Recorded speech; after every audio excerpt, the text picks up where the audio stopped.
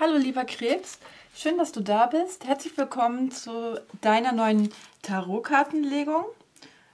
Ähm, diese, diese Kartenlegung gilt für den Zeitraum für die zweite Dekade Waage. Die ist vom 4. Oktober bis zum 13. Oktober.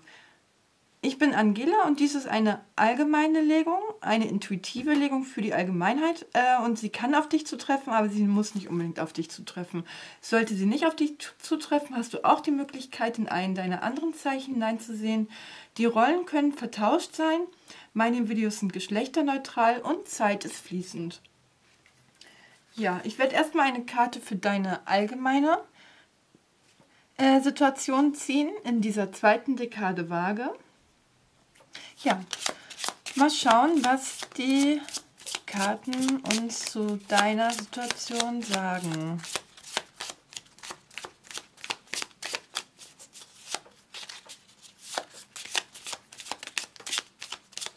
Ja, wir sind ja jetzt mitten in der Waage drin. Also die zweite, es gibt ja immer drei Dekaden und die zweite ist die mittlere und deswegen ist es dann halt so die volle vage Energie, die wir jetzt gerade alle bemerken. Okay, die Welt. Mhm, mhm. Bei dir hat sich ein Gefühl von Ganzheitlichkeit eingestellt. Ja, irgendwie überblickst du eine gewisse Entwicklung im Gesamten und fühlst dich da auch ganz vollständig drin dass äh, diese Karte ist, ähm, hat die Position 21, das ist die letzte, Karte, letzte Zahl von der großen Arkana. Und das, dann schließt sich der Kreis, danach fängt es wieder mit 0 an, mit äh, dem Narren. Deswegen hat jetzt einen ganzen Zyklus äh, auf einer Ebene durchgemacht und hat jetzt das Ergebnis vollständig vor sich liegend. So ein Gefühl ist es. So ein ganzheitliches Gefühl. Ja, wie empfindest du die aktuelle Situation im Moment? So, noch eine Erklärungskarte dazu. Mhm. Ja, du konsolidierst. Gehst nochmal in dich und merkst, dass du zwar weit gekommen bist, dass aber noch ein paar Sachen nicht ganz stimmig sind und dir fallen halt so ein paar Defizite auf, wenn du darüber nachdenkst. Vielleicht bist du dann auch zu streng mit dir selber, mit einigen Menschen in deiner Umgebung. Das schauen wir uns mal an. Was hat denn zu dieser Entwicklung geführt? Was geht dem voraus?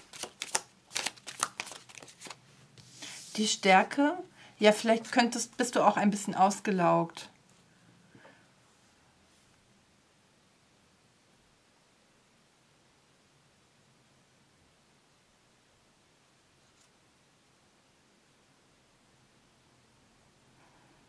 Ja, das könnte sehr gut sein, dass du in der letzten Woche viel Kraft aufbringen musstest und jetzt ein bisschen kritisch auf das Ergebnis guckst und ein bisschen ausgelaugt bist und da irgendwie das Gefühl hast, da fehlt noch etwas.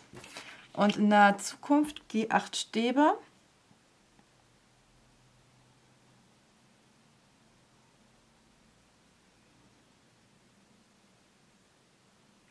Ja, da werden Veränderungen auf dich zukommen, schnelle Kommunikation. Ja, und da, da wird sich ein Resultat ergeben. Ein, eine plötzliche Nachricht könnte reinkommen. Und, das, und dann ändert sich plötzlich, ähm, dann wird sich plötzlich etwas ändern. Ja. Mit welcher Herausforderung hast du das jetzt gerade zu tun? Worum geht? Achso, ich nehme die anderen Karten, genau. Ich habe da ja ein System. Okay. Mit ähm, welche Energie, mit welcher Herausforderung hast du das jetzt hier zu tun?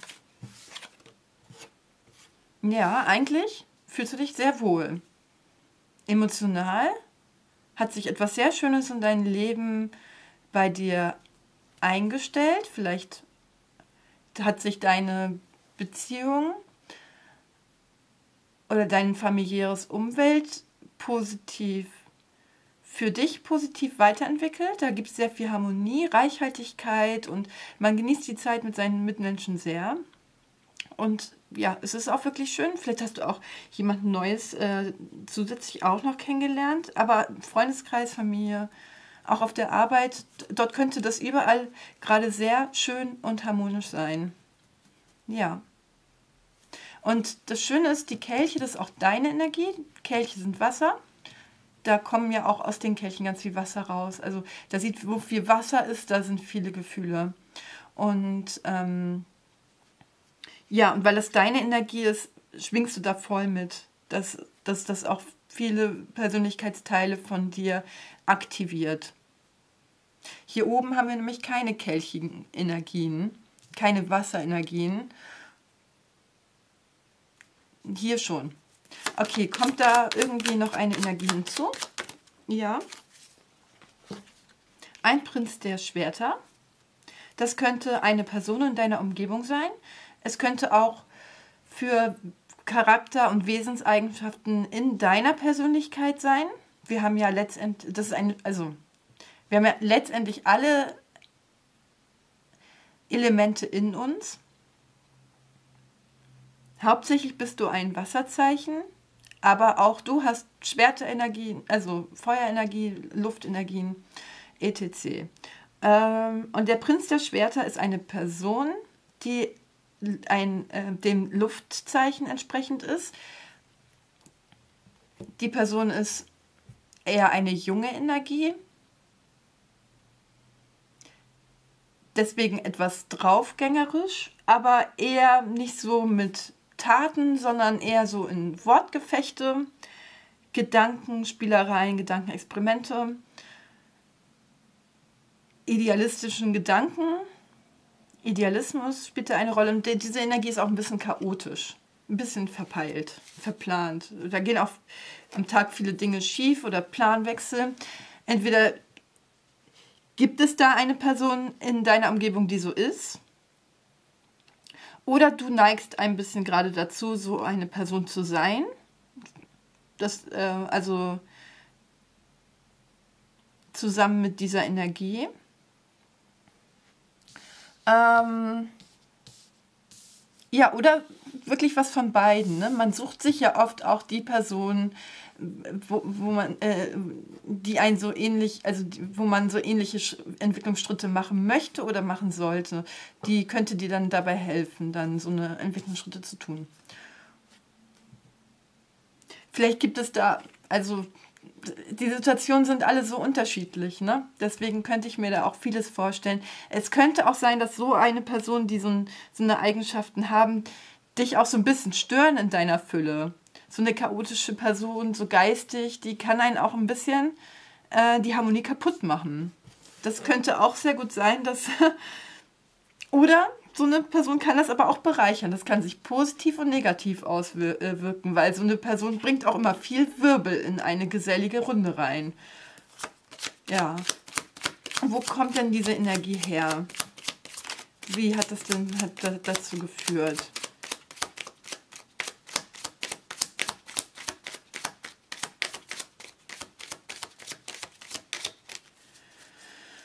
Okay, okay, okay.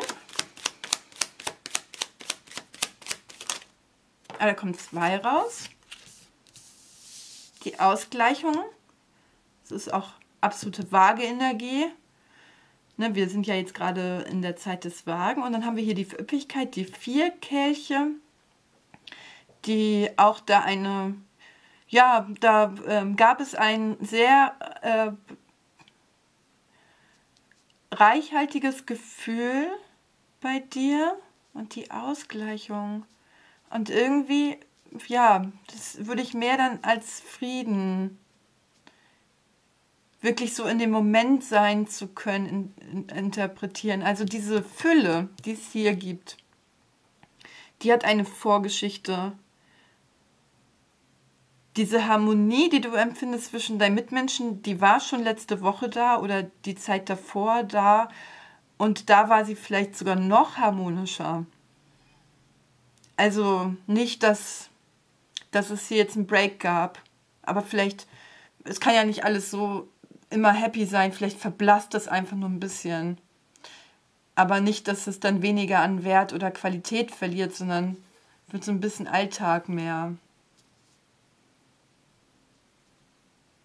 Ja.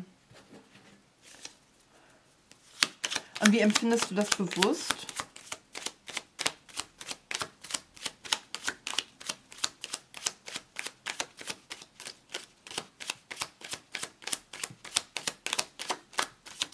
Okay. Vergeblichkeit. Also du machst dir irgendwie, also deine Gedanken sind, du machst dir irgendwie Sorgen. Dabei läuft eigentlich vieles sehr gut. Du musst dir gar keine Sorgen machen. Vielleicht würde ich dir da raten, halt ein bisschen den Verstand mal Verstand sein zu lassen.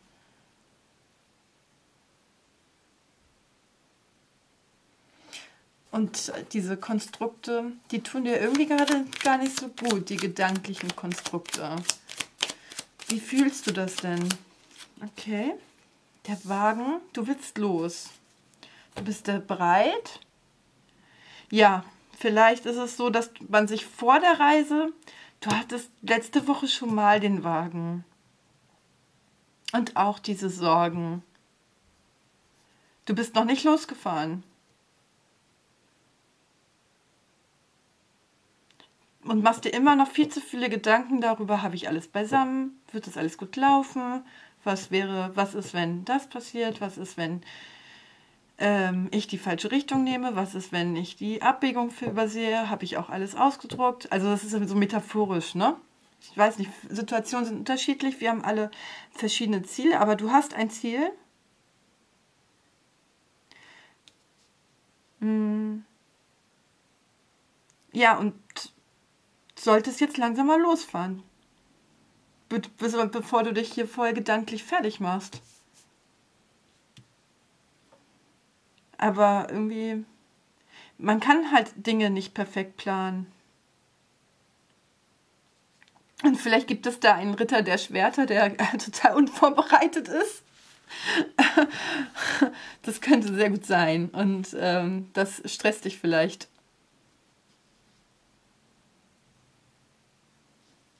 Hm. Vielleicht möchtest du auch diese, also hier gibt es ja diese harmonische Energie. Vielleicht möchtest du die auch gar nicht verlassen. Vielleicht geht es auch viel darum, dass du die nicht, dass du, äh, die verblasst schon. Ne? Dinge bleiben einfach auch nicht wunderschön. Die ist, diese Sache ist immer noch schön. Aber wie heißt es? Man sollte gehen, wenn es am schönsten ist. Das heißt ja nicht, dass du alles hinter dir lässt. Das würde ich jetzt nicht so weit gehen. Das ist aber so ein momentanen Zustand, den man verlässt. Die, die Situationen können da unterschiedlich sein.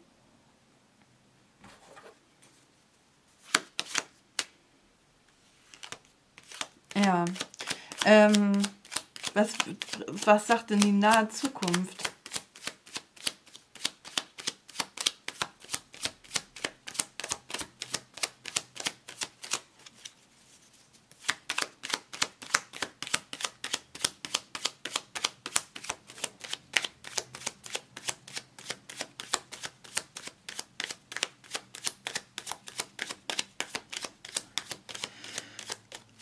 Die nahe Zukunft will sich nicht offenbaren.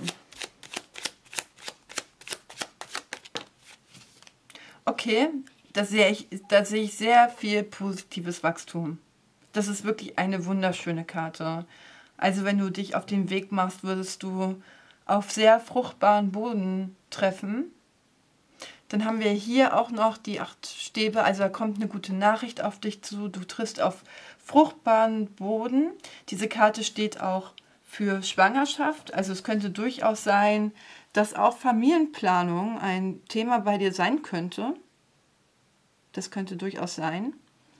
Aber äh, Schwangerschaft steht auch für die Umsetzung eines Projektes. Das kann halt auch ähm, äh, im Meta metaphorisch, im übertragenen Sinne gemeint sein.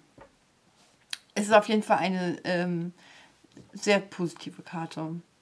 Und deswegen musst du dir da gar keine Sorgen machen. Diese Sorgen, äh, diese Gedanken sind nicht hilfreich.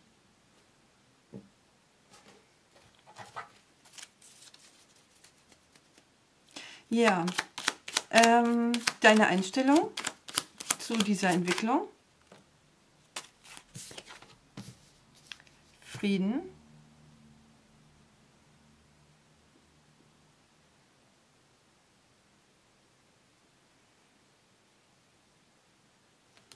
Naja, irgendwie bist du schon zufrieden, so wie es aktuell ist. Vielleicht hast du gar nicht irgendwie das Gefühl, dass du losfahren willst. Dass es auf dich zukommt.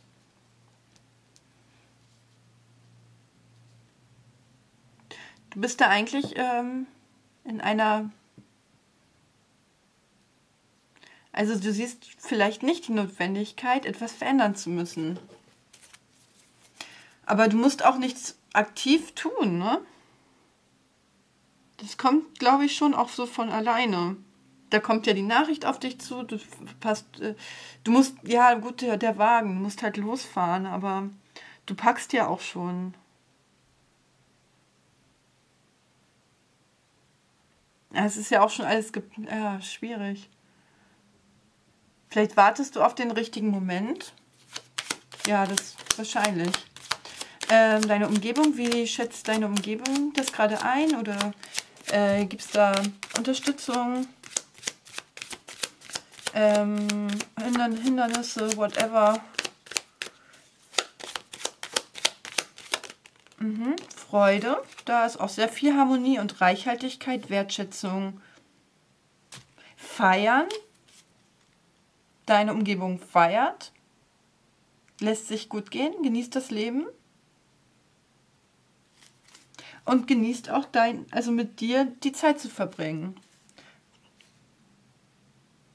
Dann genießt auch deine Anwesenheit sehr. Ja, das ist sehr schön. Was, ähm, was sind so deine Wünsche und Hoffnungen für die ähm, weitere Entwicklung? Hast du irgendwelche Befürchtungen oder Erwartungen?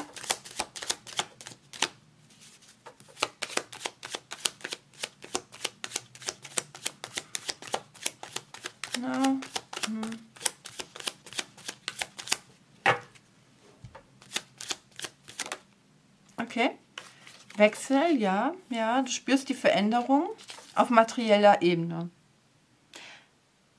Das äh, könnte, also ich hatte ja schon bei der Kaiserin gemeint, dass es da um Familiennachwuchs gehen könnte. Das bestätigt das, sich dann das so ein bisschen. Vielleicht auch irgendwie ein, ein anderer Wechsel zu mehr Wohlstand und Stabilität, ein Wohnungswechsel oder eine Veränderung in den vier Wänden eine Umstrukturierung der Räumlichkeiten oder im Garten, im Haushalt irgendwas. Oder im Beruf auch, ne? Wenn, wenn es jetzt nicht um Familienplanung geht, dann, dass ich auch irgendwie, also kein Jobwechsel im Sinne, keine so große Veränderung, aber vielleicht ein anderes Büro, neue Aufgabenbereiche. Ja. Das ist das, was ähm, du erwartest. Ne? Also das ist das, was du dir erhoffst und du erwartest. Dass es so eine Form von Veränderung äh, bewirkt. Und du hast befürchtet, also ich weiß halt nicht, worüber du dir Sorgen machst.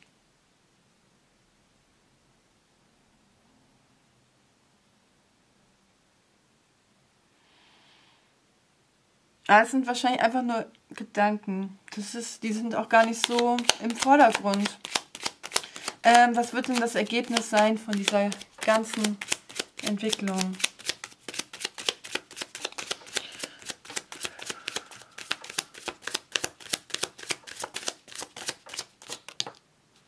Hm. Weiß nicht.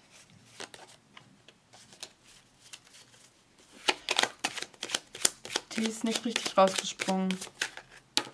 Okay.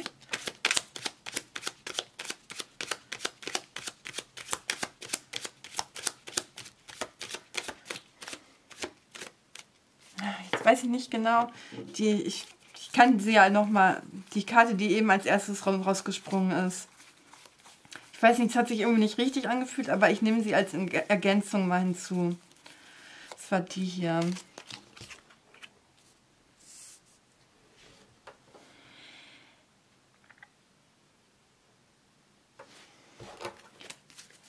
Ich fühle mich noch nicht so ganz...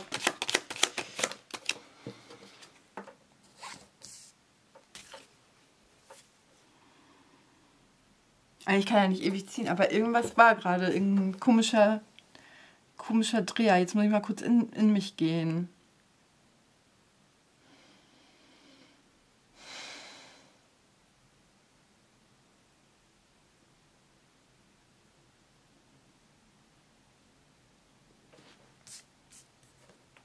Ja, die ist halt einfach als erstes rausgesprungen. Ich hätte die gleich rausnehmen sollen.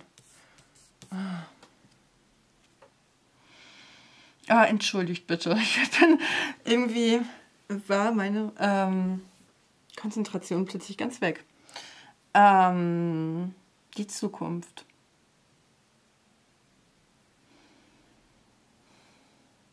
Ich habe hier jetzt plötzlich drei Karten. so, und ähm, das sind die neun Schwerter, die vier Scheiben und der Magier.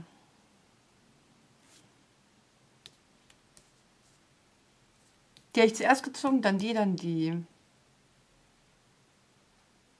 Die ist mir aber so komisch rausgefallen. Aber gut. Rausgefallen ist trotzdem rausgefallen. Ah, das bringt mich gerade voll durcheinander.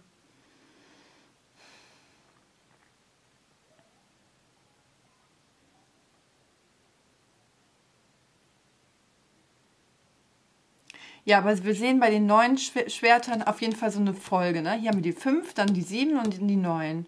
Also irgendwie gedanklich machst du da einen Zyklus durch, der, ähm, der auch da einfach anstrengend ist. Also da kann ich, dich, kann ich dir nur raten, lass die Gedanken los und irgendwie machst du dir, dann wirst du auch in der, in der nächsten Woche dir irgendwie Vorwürfe machen.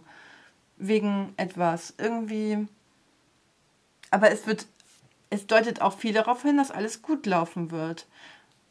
Diese vier Scheiben sind eine sehr starke Festigkeit und der Magier hinzu ist eine ähm,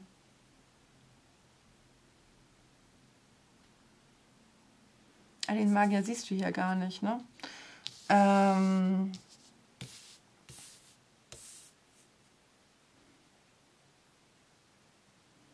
ist eine sehr selbstbestimmte Energie der kann mit den Dingen in der Umgebung äh, gut handeln. Also wenn es, du wirst auf jeden Fall deine Ziele umsetzen können.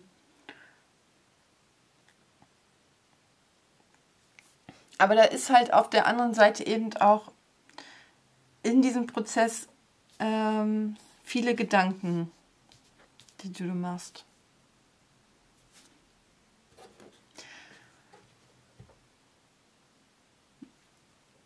In Bezug auf deine Wünsche gibt es auf jeden Fall Grund zur Annahme, dass sie sich erfüllen können. Ne, weil es ist zwei Scheiben, hier sind vier Scheiben. Das sind schon sehr ähnliche Energie und tatsächlich sind die vier Scheiben noch, sta noch stabiler als die zwei. Vielleicht sogar ein bisschen zu stabil. Aber dafür hast du den Magier, um da Leichtigkeit reinzubringen also das sieht eigentlich ziemlich erfolgreich aus. Ich möchte dir noch für, von der Mondenergie einen Ratschlag geben.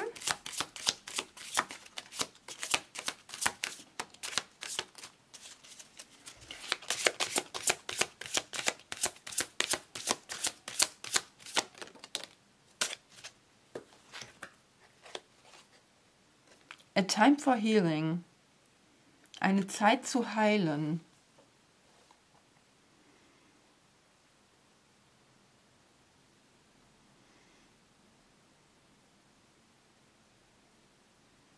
Ja, gut, das passt gut zu, der, zu dem Frieden, den innerlichen, so wie du das so eine Einstellung, deine Einstellung dazu.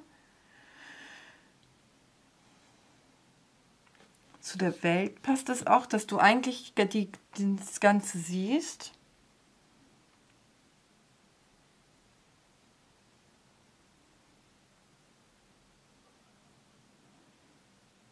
Ja, wie ich das schon vorhin meinte, mit den, wenn, äh, um deinen Heilungsprozess zu unterstützen, musst du die Schwerter, die kommen dir gerade so ein bisschen durch die, in die Quere.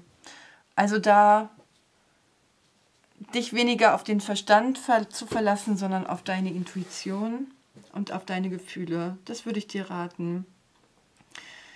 Ja, gut, lieber Krebs. Äh, ich hoffe, dass dir dieses äh, Reading gefallen hat und dass du etwas für dich mitnehmen konntest. Ich wünsche dir äh, eine sehr gute Zeit in dieser zweiten Dekade Waage und es würde mich sehr freuen, wenn wir uns zum nächsten Video wiedersehen würden. Wenn du möchtest, kannst du gerne auch etwas in den Kommentaren über deine Situation schreiben. Darüber würde ich mich sehr freuen und das würde mich sehr interessieren. Ähm, bis dahin wünsche ich dir ähm, ja, eine, eine gute Zeit, sehr viel heilsame Energie und einen guten Wechsel. Ja, auf Wiederhören.